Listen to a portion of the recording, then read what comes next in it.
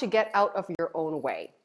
Yes, this is today's video for this theme as we talk about the main obstacles and pitfalls you may be experiencing as a new freelancer, a new business owner, or really just someone that has been debating whether or not uh, a life out of the cubicle is for you. But either way, you are someone that's starting something different, and very likely you're finding it hard uh, to keep to your goals and feel complete on a weekly basis working towards your goals. Now, a big misconception that a lot of people have is that if they have the right strategy or they have the right business plan or some sort of perfect ideal escape route to their dreams, they're going to then find happiness and success. Uh, but I want to sort of break it down to you today, and the reality check is very likely it's not any of those things that have been preventing you from going uh, where you are today to where you want to go, and very likely that first obstacle is going to be you. Some of the most common obstacles that prevent you from getting to your goals are very likely your lack of self-belief, your lack of clarity, and also that really bad habit of self-sabotaging by procrastinating or dragging your heels on things that you know you have to do, but you can't seem to muster up the inspiration or the motivation to get them done weekly. But don't worry, you are not alone. I'm Lydia Lee and I'm the corporate escape coach at Screw the Cubicle. I'm also a small business strategist. And today I want to film this video for you so that I can help you to identify where are those common obstacles that you might be facing right now in your life and how to overcome these pitfalls going forward. All right, let's start with obstacle number one. You are lacking clarity and direction about what you want to do for your life and where you want that plan to be going in the first place. Now, of course, you're not going to be motivated to do any work or create any change in your life when you don't know what the destination needs to be. So the first step is really to start to understand what needs to be changed in your life, what needs to be changed in the way that you want to work, the way you want to live, and really get into an ideal description or even being able to just describe it for yourself what that end goal looks like in order for you to get the clarity that you need of working backwards of what you need to actually be doing to get to that end destination and outcome. Now, the other thing to say is that actually most of the time you may not actually even know what those steps may be for that destination if you are not moving and actioning on anything at all. Sometimes clarity comes from action. Actually, I should say all the time, clarity comes uh, with action. And so even if you don't know what the perfect ideal action may be, do something. Sometimes it's about following your curiosity, following your nose down what you believe you might be passionate about, what you believe interests you, what, your, uh, what brings you joy in your life and just actually doing a few acti activities and incremental steps in order to honor some of these curiosities and interests that might pop up for you can absolutely lead you to some clarity and focus that you can start to actually get more answers once you actually act on and honor some of these actions that are necessary to bring you those answers. The second obstacle is your fears, those fear mongering monsters that exist in your head. Now, everybody that does anything different and has changes in our lives, whether it's in our life or in our career, will come with fear. And that is actually fully natural. Don't beat yourself up about it. But know that your fear doesn't dictate your future. So, eh, behind every fear that you could be having right now, there's actually a gap of information skill sets or knowledge that is actually missing for you that you have to research or learn more about in order to have that fear dissipate slightly for you in order to move forward.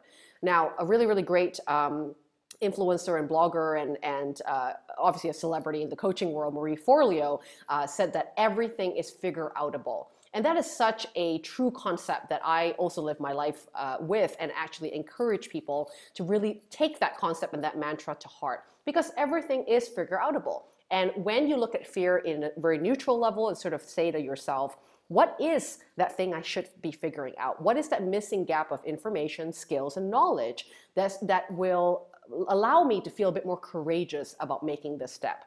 So when you take that approach of everything is figure outable, that I just only have a missing gap of something that I have to find out, that actually gives you some focus on what it is that you actually need to be uh, getting information on or upskilling on or finding a mentor on uh, to bypass some of those sort of missing information that will give you a bit more courage and clarity to keep moving on with your goal. All right, obstacle number three is lack of confidence. Maybe you're here as well. Now, many of us who are doing anything different with our life and career will have this feeling of feeling unconfident as we move towards a brand new environment. Now, change takes time. Don't beat yourself up over it, but know that you can be easy on yourself by allowing yourself to ease into courage. Now, confidence and courage doesn't happen overnight. It takes experience, it takes multiple times of you doing something to feel confident about a particular skill set that you're experimenting with or even a business idea you're gauging to see if it's profitable. So start with small steps that allows you to build that confidence and simplify it. So one of the things that I suggest every time for a new business owner is not to spend time, money, and investment into things like websites, Facebook ads, or whatever you think you have to do to build a business. Go organic. Start with something simple that's going to allow you to feel confident about the craft that you're putting out there. It can be as simple as reaching out to three to five people that you know in your community and testing out your skills, helping for the genuine purpose of helping other people as a way of discovering your confidence in a newfound skill set or a new direction that you might want to take your career in. Obstacle number four that you might be facing today is that you never stick to a plan.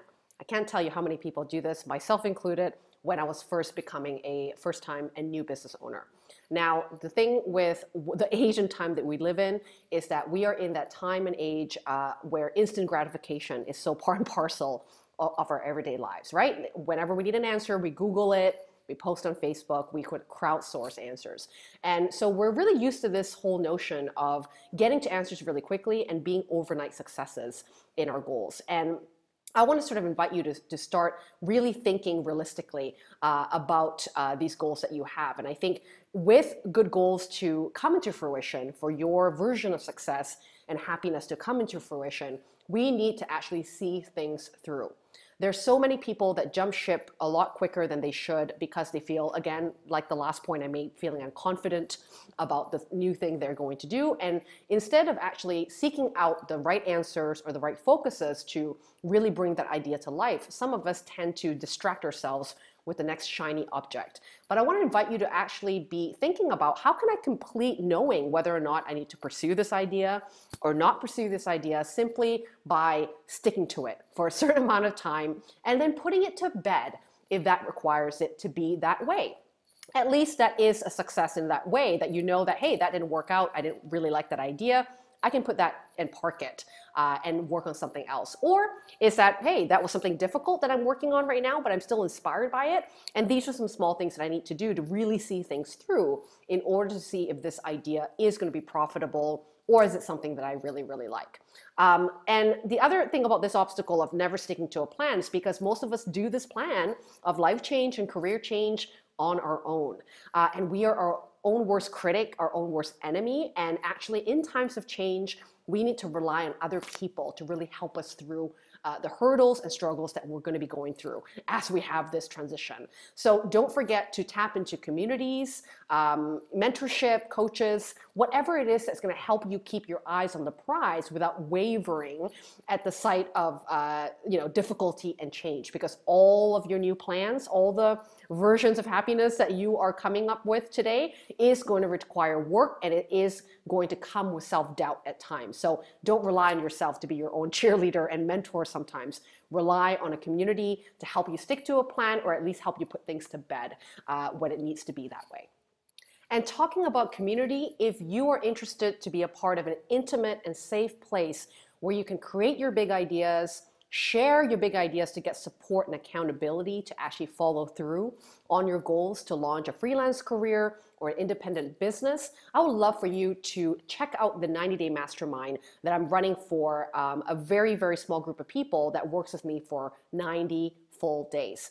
A lot can be done in 90 days in terms of the launch of your business, getting your first few clients, uh, marketing your business, and building credibility and reputation for your new career simply by having focus and support and accountability on a weekly basis.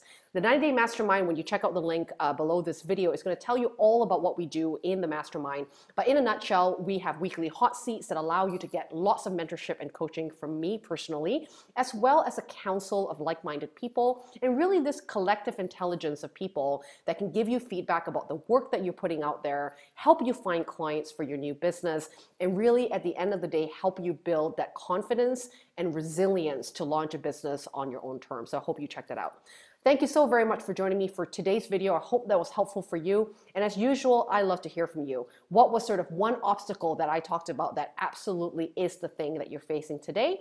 And what is one step in action that you're going to implement from learning in this video that you're going to be focused to do this week that can help you change everything uh, about your transition for your work and your life today? Let me know in the comments below. Thank you so very much for joining me and see you on the next video. Hey, thank you so very much for watching Screw the Cubicle TV and don't forget to subscribe below to get all the latest cubicle crashing content on how to quit your 9 to 5 and create a life and business on your own terms.